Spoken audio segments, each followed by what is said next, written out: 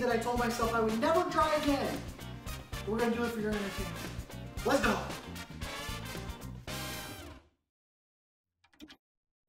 Are you an everyday nerd?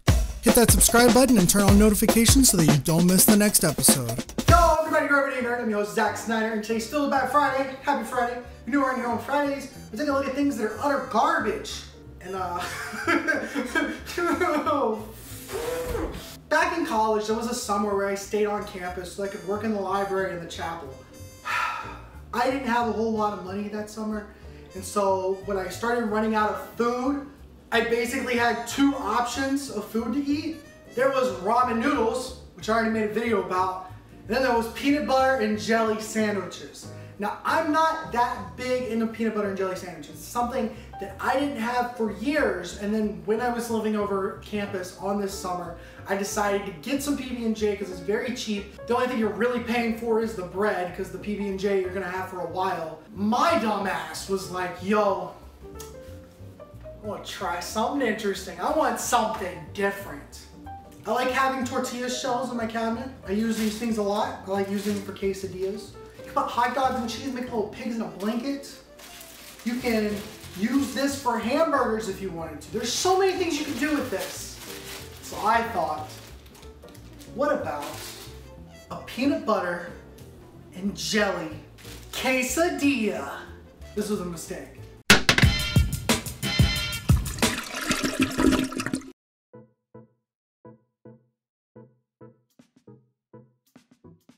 Now the first thing you want to do to make a peanut butter and jelly quesadilla is to grab a tortilla shell. Don't make two like I did, just make one. And actually don't make this ever. Get you a little bit of peanut butter and jelly brought to you by Great Value Honey Roasted Creamy. If you like crunchy peanut butter, you're disgusting. Grab a knife, get you a little bit of peanut butter on there. We're not gonna make a, we're not gonna waste a lot of peanut butter on this because I actually am broke. And uh, peanut butter and jelly sandwiches probably what I'm gonna eat next week when all my ramen runs out.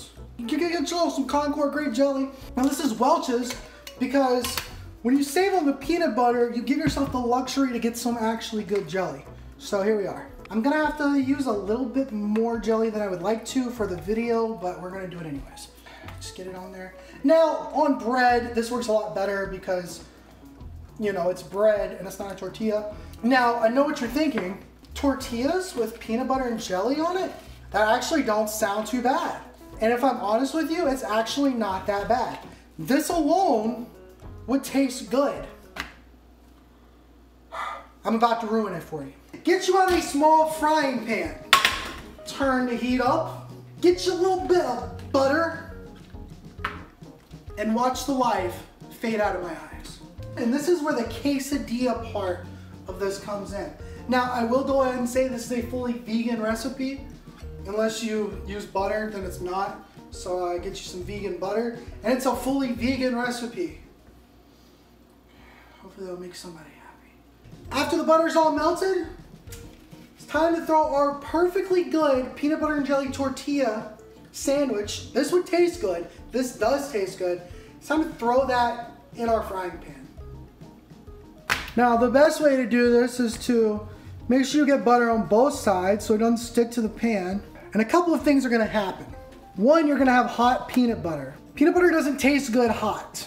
Two, you're gonna have hot jelly. But the jelly is gonna do something that you never thought jelly would do, and that's caramelize.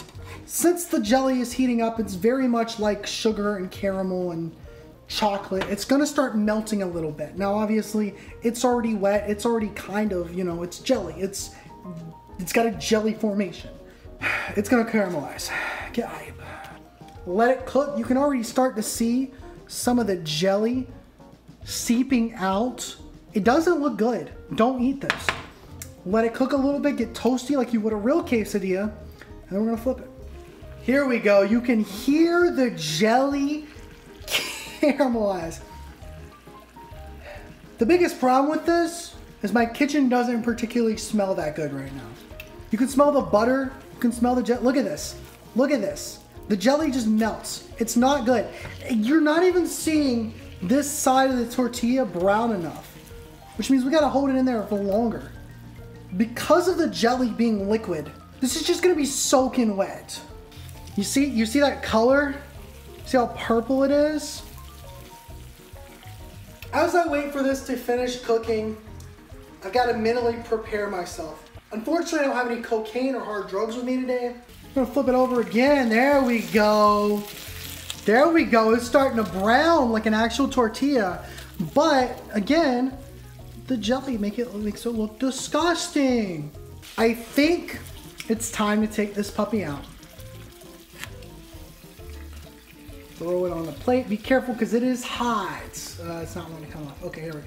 Nice. It's sticky because it's jelly. Make sure we get all the jelly. All the jelly. Oh, that's not to be hot at all.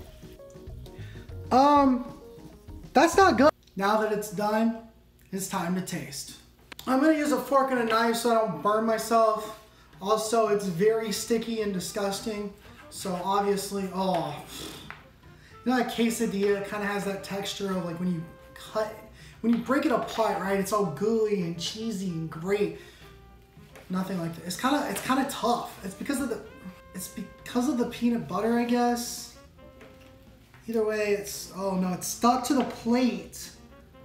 It's actually stuck to the plate. Let's see if we can get it unstuck. There we go.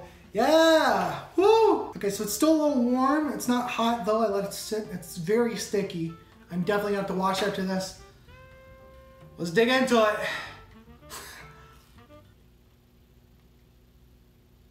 That's not good. That's not good at all. Okay, so I got me something to drink. Hold on. Okay, so here's the deal. That's awful. The peanut butter is more like getting stuck in my teeth than it would be like regularly. You can still taste some of the sweetness in the jelly, but it's not good. this is a mistake. So what's the lesson that we've learned today? It's okay to get creative with food, just don't get too creative, especially if you're broke.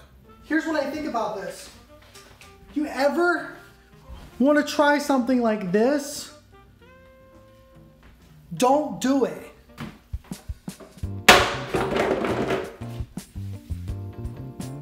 And just throw the whole thing in there. I'd throw this away if I didn't need it.